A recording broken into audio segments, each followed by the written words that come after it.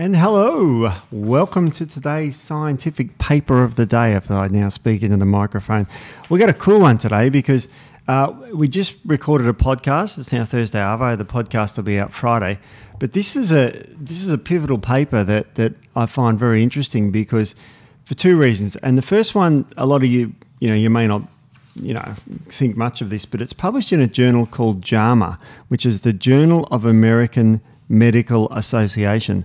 Now, it's only a short paper, and um, it's like a review paper or a viewpoint paper, they call it, which means that it's a it's a conglomeration of other studies, and it was published late last year. Uh, uh actually, no, late 2016. So this is a really interesting paper. And the reason why I like about this paper is it's what they term a mechanistic paper. Now, what a mechanistic paper is that you know it looks at all the evidence and goes right now we've figured out how whatever it is, this drug works or this stuff works or something about how the body works, you know. And these would have been very pivotal back in the 60s when they were discovering the pancreas and what it did in the spleen. But, you know, because in 2013 we're able to map the gut microbiome, this is all about the microbiome and its risk for obesity and diabetes. So, you know, if, if you went to college with me 20 something years ago, and they said, What's the risk factors for obesity? You would say, Oh, people eat too much and they don't exercise enough. And that would be it. And you could say diabetes, well, similar sort of stuff.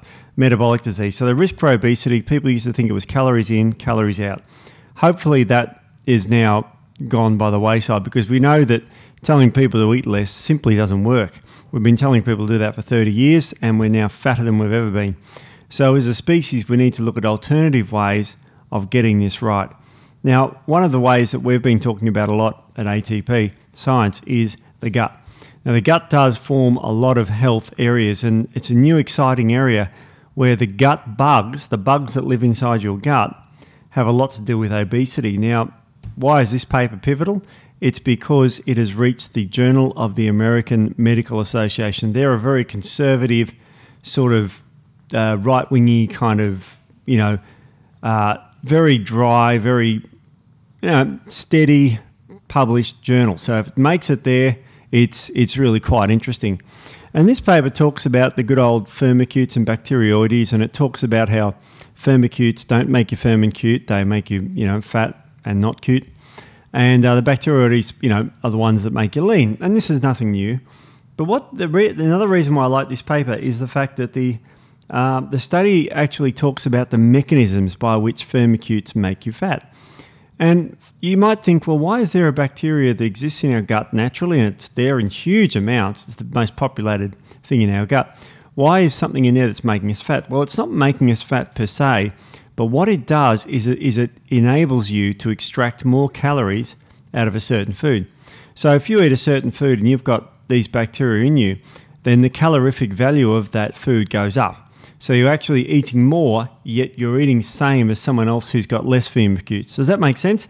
It's a bit tricky, but that's what the firmicutes do. So the study goes on to say this in the point there. It says relatively high ratios of firmicutes to bacteroides not only influence carbohydrate metabolism, but also alter the production of short chain fatty acids.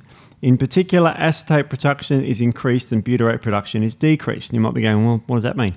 Well, a recent study found um, increased blood levels of acetate cause insulin resistance and increased production of ghrelin.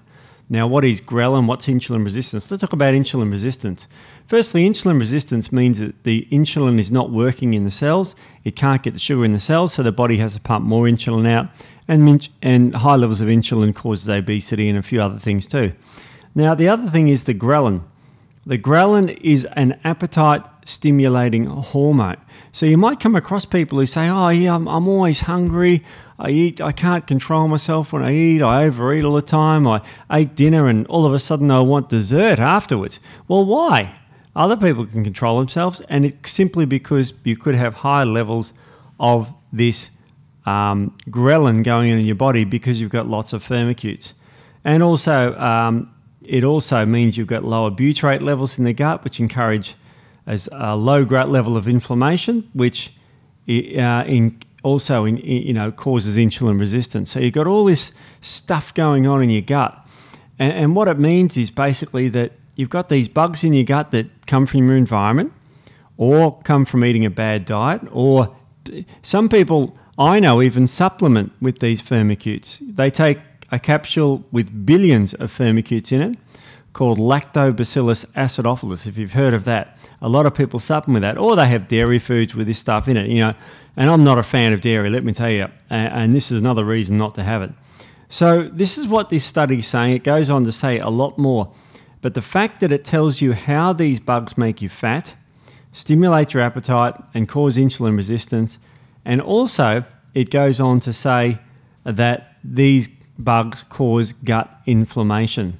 So if you've got an inflammatory bowel disease or something like that, it could be down to these bugs. They look at the bowel, it's inflamed, they don't know why. It could be these bugs. So this is where we're at at the cusp of these studies. So I hope that's been interesting to everybody.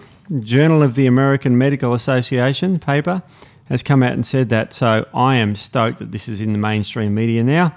And therefore, if, if doctors are, are diligent, they'll be reading this and they'll sort of want to know about your guts. So thank you very much, and we'll see you next time.